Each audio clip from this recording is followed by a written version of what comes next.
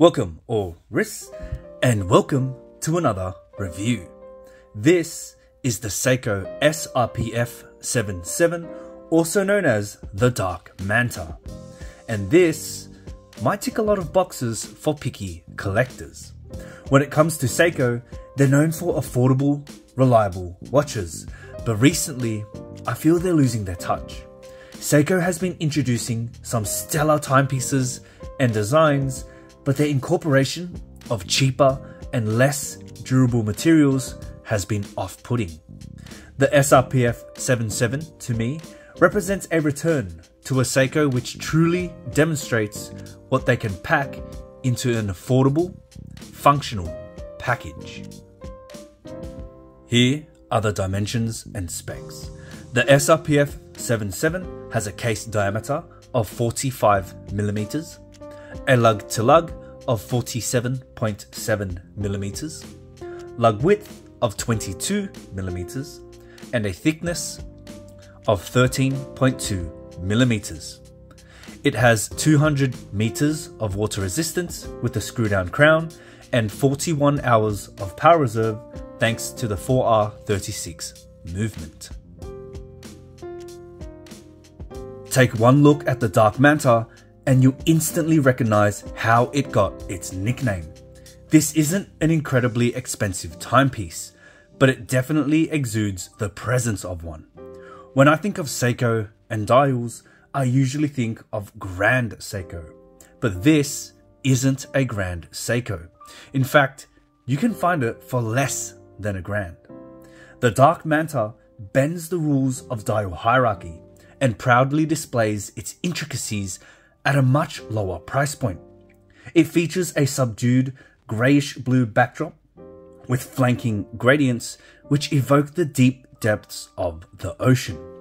These gradients tie in well with the black chapter ring and bezel and creates a subtle yet eye-catching experience which draws you in to reveal its finer details.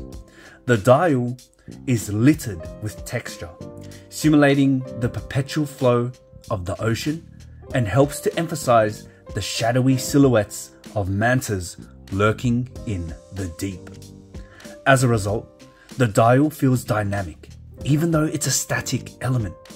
Its dull colors and added shades collectively create an imposing look, one which maintains your attention and ensures clear view of the dial with a sapphire crystal to protect from any unwanted scratches. To match the scratch-proof nature of the Sapphire is a black bidirectional ceramic bezel with white numerals and markers, with a lume pip at the triangle marker. The action is smooth and a joy to operate with the grippy, double stacked teeth on the bezel. Now, this ceramic and sapphire combination is quite a common pairing in the watch world, but not so much for Seiko, especially in this price range. In conjunction with the detailed dial, the use of these more durable materials further emphasizes Seiko's ability to offer quality timepieces in every price range and has earned this family of watch the King title. Although the dial is extremely well done and inclusions of scratch resistant materials is a much welcome positive, there are some sore spots. As watch enthusiasts, we're never satisfied with a watch. There will never be a perfect timepiece, but quality control issues should never be a thing we need to consider. Unfortunately for Seiko, it's something that must be considered. These indices are generously lumed and framed with polishing. They look fantastic and are very visible from afar and legible in low light settings, but they don't line up with the chapter ring. Now, you might get lucky and get a piece that does line up, but more often than not, Seiko tends to have misaligned chapter rings or bezels or indices. And as you can see there, at the 9, the 6, and 12, they are misaligned on this specific piece. Now, timepieces are first and foremost instruments to tell time. Every little deviation from accuracy makes it harder to tell the time accurately. It's already hard enough with mechanical movements, but adding on misaligned chapter rings and indices makes it incredibly hard to tell the time accurately. Now, this issue is trivial in the grand scheme of things, but it's a fault which should not be ignored or accepted, especially when purchasing an instrument of time from a company with over 100 years of experience. The SRPF 77 has a very unique case architecture. It sports a cushion style structure which resembles the shell of a turtle, hence the turtle nickname for this specific line of Seiko divers, and forms natural crown guards protecting the signature Seiko crown at 4 o'clock. The finishing of the case isn't anything amazing, but it gets the job done, featuring a brushed topside with a polished belly and sides. The case back is finished in a similar fashion with a predominantly brushed surface and polished chamfered edge, topped with a polished Seiko diver wave. Although it boasts a large case diameter, it wears surprisingly well, thanks to its relatively short lug to lug and curved side profile. This soft shape structure and crown at 4 contribute to the watch's wearability and comfortable wearing experience. It essentially eliminates any sudden edges, allowing the wrist to move freely and unobstructed, something important when you want freedom of movement. To further enhance its comfort is its rubber strap. The strap is very soft and pliable, allowing it to contour against the wrist with ease and provides many points for adjustment.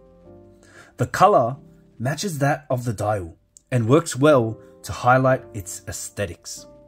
The buckle matches the bulky and curved look of the case and attempts to balance out the heavy watch head, but doesn't do much to reduce the top heavy feeling when it's on the wrist. Now, unlike the case, the keeper has a sharp and boxy construction, which can definitely be felt on the wrist if you like your watches a little tighter. Both the buckle and keeper are signed with the Seiko logo, and the strap also dons the same Prospex wave found on the case back. Now, the strap does have a slight taper from the lugs and this helps to keep the keeper at bay, protecting the case from any accidental collision. Now let's get it on wrist. Here it is on my six and a half inch wrist.